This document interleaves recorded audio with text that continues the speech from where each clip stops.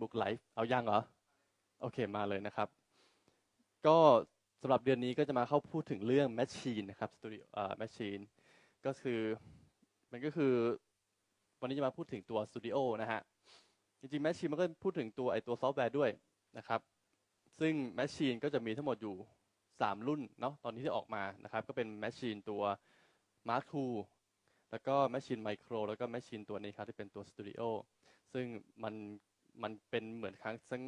sampling แล้วก็เป็นพวกแบบ workstation ในตัวเดียวเลยนะครับหรือจะเรียกว่า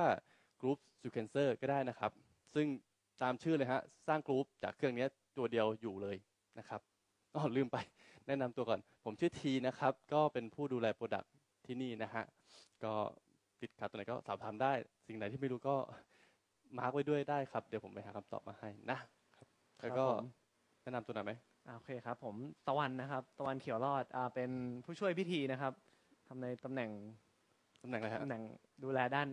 อุอุปกรณ์พวกเครื่องดนตรีเกี่ยวกับอิเล็กทรอนิกส์นะครับ พวกก็เป็นร้านดีแพเจดอะไรร้านแพดอัลเบอร์ตันทั้งหลายแหละก็ใช่ครับ ก็ด้านนั้นเต็มๆนะครับ วันนี้ผมก็เหมือนมาช่วยกันมาอ่าพูดถึงเรื่องแมชชีนนะครับ จริงๆผมก็ถามเขาเยอะนะ อาจจะเก่งกว่าผมด้วยซ้ำในด้านแมชชีนนะครับ ก็ โอเค เข้าเรื่องกันเลยดีกว่า อ่าในนี้มีใครทำเพลงหรืออะไรกันอยู่แล้วใช่ไหมครับ โอเค นะครับ เห็นว่าเป็น เป็นเจ้านายเก่าของตะวัน ใช่ครับ อืม มีใครเคยผ่านโปรแกรมพวกแมชชีนบ้างไหมเอ่ย พี่เปาน่าจะเคยผ่านนะครับ ก็ถ้าเป็นฮิปฮอปก็จะค่อนข้างชินกับไอ้ตัว Maschine นะครับ พวกสร้าง groove ทั้งหลายแหละก็ตอนนี้ในไทยมันยังไม่ค่อย ถ้าเทียบกับต่างประเทศจะอืม popular กว่านะครับ ถ้าในครับไทยมันจะแบบไม่ค่อยคนยังไม่ค่อยนิยมเล่นกันนะครับอืมใช่อาจจะว่ากลุ่มกลุ่มฮิปฮอปเราก็ยังไม่ใหญ่มากใช่นะครับ โอเค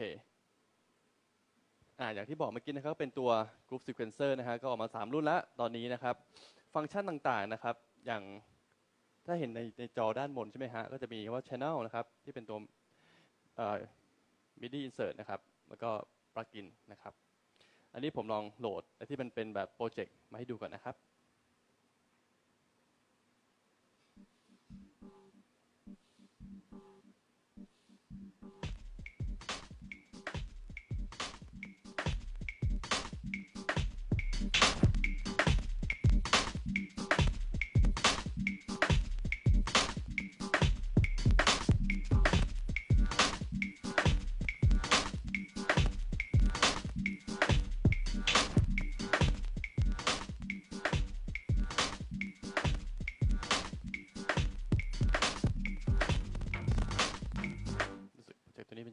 นะฮะ ขอตัวอื่นละกัน